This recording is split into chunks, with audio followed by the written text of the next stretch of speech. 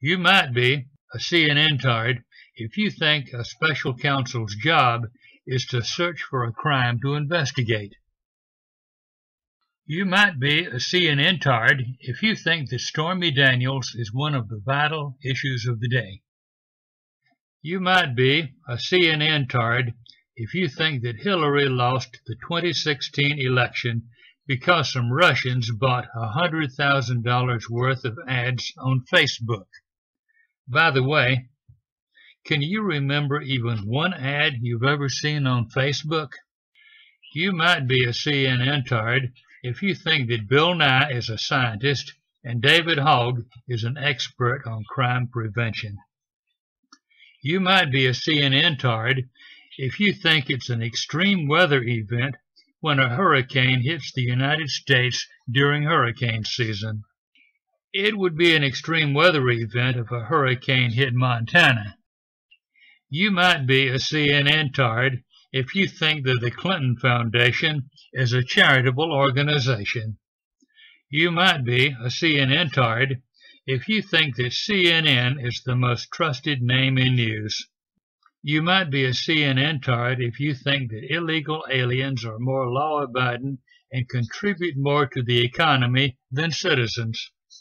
You might be a CNN tard if you think that it's racist to say that all lives matter.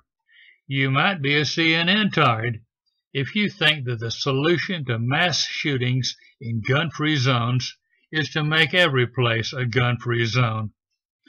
You might be a CNN tard if you think that Hollywood celebrities are qualified to advise us on how we should live our lives because Hollywood celebrities are well adjusted.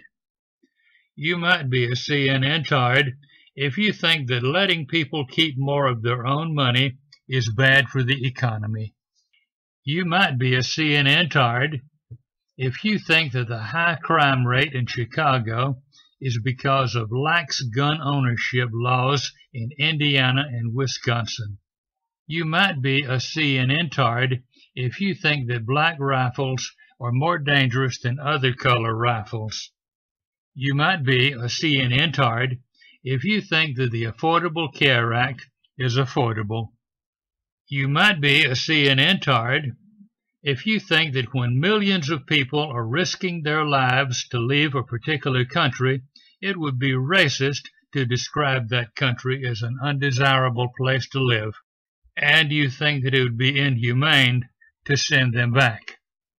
And speaking of undesirable places that millions of people are trying to leave, you might be a CNN tard if you think that Americans' voting habits should be more like California's. You might be a CNN tard if you think that people who expose dishonest reporters are a danger to freedom of the press.